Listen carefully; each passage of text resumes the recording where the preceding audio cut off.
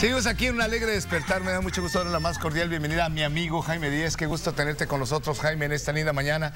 Platícanos de qué vamos a hablar ahora sí, que, qué tan, eh, cómo va la situación con los... Fíjate que me decía un joven, dice Marcos, yo quisiera primero tratar de ser ciudadano americano antes de hacer esta situación de ser estudiante, ¿cómo le llaman? Este, acción, ¿cómo le llaman? Diferida. Acción diferida. Eh, eh, primero hay que hacer la acción diferida y después tratar de ser ciudadano americano. ¿Estás de acuerdo? ¿Estoy bien o mal? A ver, ¿cómo sería la situación?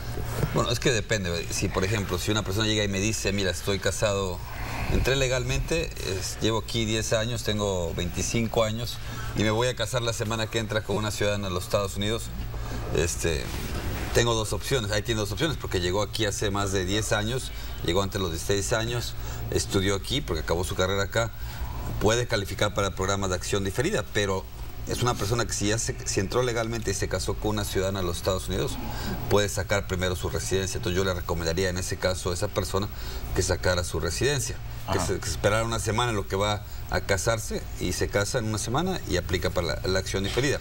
Ahora, si una persona llega y me dice, tengo una novia que es de Estados Unidos, pero todavía no nos decidimos casar, probablemente nos casamos en dos o tres años en ese mismo ejemplo que te di el tiempo, yo te recomendaría que esa persona sacara primero el programa de acción diferida para que en esos próximos dos años pueda estar aquí con un permiso de trabajar y, una, y un seguro social. Y, este, y en dos años que se case con una ciudadana o tres, este, ya pueda entonces aplicar para la residencia. En regla, ¿cuánto es el tiempo que se necesita para hacer eh, la acción diferida? ¿Cuánto tiempo? Vamos a poner que, ¿cuánto tiempo tiene que estar alguien por regla? ¿No puede llegar alguien y pasar la frontera y decir, quiero el programa de acción diferida? No, no, no. Para ese programa de acción diferida, recuerda, tienes que haber estado... ¿Cuándo menos? Por lo menos cinco años antes de junio del 2000, o sea, antes de junio de 2007. El, programa empezó en, en este en junio de 2012, tienes que demostrar que llevaba cinco años antes de esa fecha, que sería junio de 2007.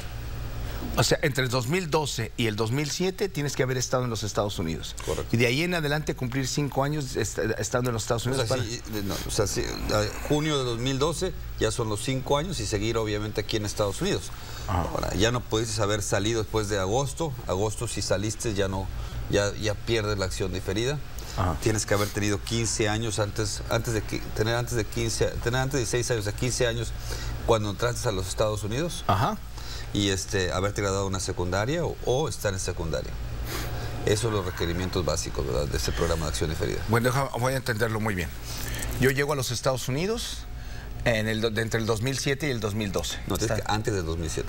Antes del 2007. Tuve que haber estado antes del 2007. Si llego después del 2007, ¿ya, ya, ya valí? Sí. No, hombre. Todos los que lleguen a partir del 2007, ya, ya, ya de 2008, no, ya, no, ya no, entra en la acción diferida. Ya no van a... Antes del 2007, el que quiera. Del 2007 al 2012 son los que pueden entrar. Esa es la, parte, la, la, gente que puede estar, entrar. Correcto. Wow. Y tienes que haber entrado antes de los 16 años. Antes de los 16 años. Bueno, pero que es una cantidad enorme. Estás hablando que eran... Se calcula que hay 1.8 millones de gente. 1.8 millones nada más entre el 2000, que entraron antes del 2007. Sí.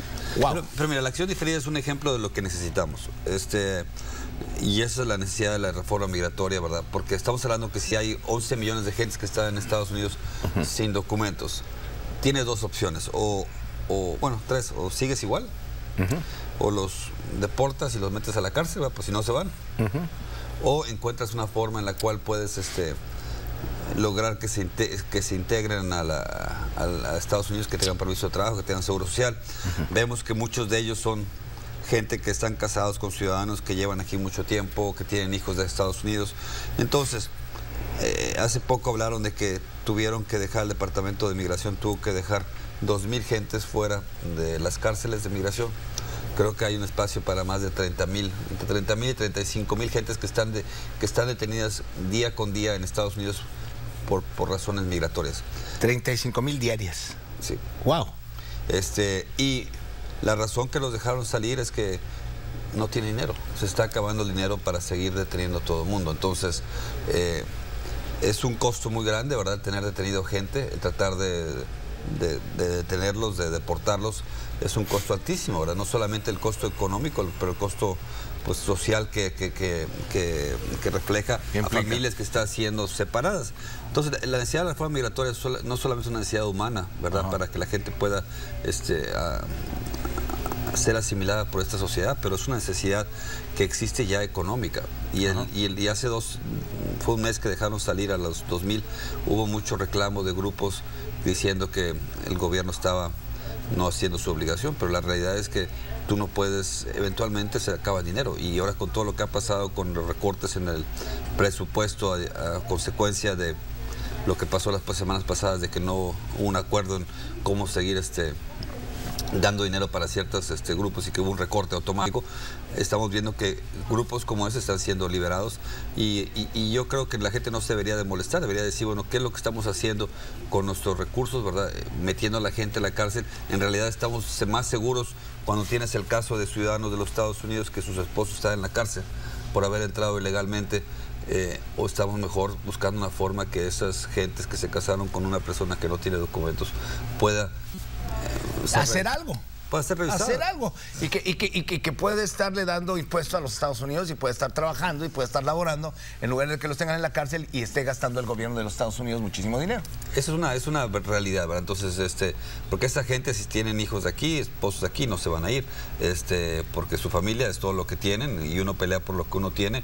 Entonces, dejarlos aquí como están, sin documentos, o meterlos a la cárcel, no son la, no creo que sea lo más ideal, ¿verdad? Hay que buscar una forma de, ver quiénes son, que no tengan un récord criminal, que no sean gente peligrosa para Estados Unidos, que la mayoría no son, y, encontrar una reforma migratoria para que entonces ahora sí la, la patrulla fronteriza sea, que en este caso sería acción diferida. 87 48 48. Señores, bájenle a su volumen de aquel lado, por favor, son tan aquí en el 687 48 48 para que se comuniquen. Vamos a una pausa, Jaime, pues gracias por estar con nosotros. Él está, eh, está en Peñitas, en Huesla y en Brosville. ¿Estoy bien? Ahí estamos. Me lo sé perfectamente, ¿verdad? Rápidamente a llamar, queridos amigos, por favor, a llamar al 687-4848 para toda la información con el mejor abogado de inmigración, Jaime Díez.